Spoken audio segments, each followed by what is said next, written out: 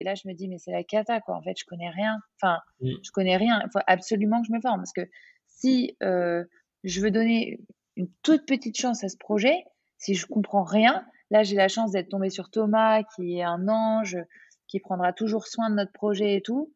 Mais sinon, je, vais complètement être dépassée. Donc, j'ai commencé à me former dans une école de marketing digital en ligne, enfin, tu vois, un truc assez basique. Et puis, euh, rapidement, je commence à m'incruster à toutes les conférences que je peux de marketing digital. Je passe tout mon temps libre chez The Family à côté d'entrepreneurs, mais incroyable. Et ça m'a complètement, euh, ça a révolutionné ma façon de voir euh, l'entrepreneuriat.